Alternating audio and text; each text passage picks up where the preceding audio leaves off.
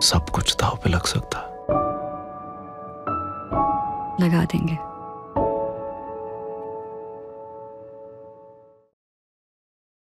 शोहर है वो आपके। और आपका फ़र्ज़ बनता है कि मुश्किल वक्त में अपने शोहर का साथ दे।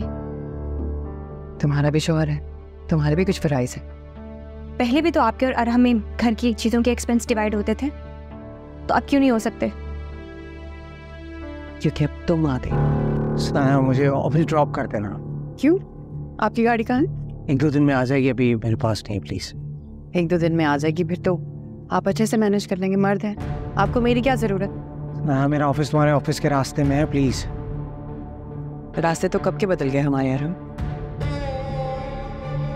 इस कच्चे धागे पर बंधे रिश्ते पर तो आपको कितना गरूर था। सनाया मैम ने तो अपनी मोहब्बत निभाई नहीं और आप अभी तक इस रिश्ते को निभा रहे हैं। ये मेरी हसरत ना होगी कहूँ।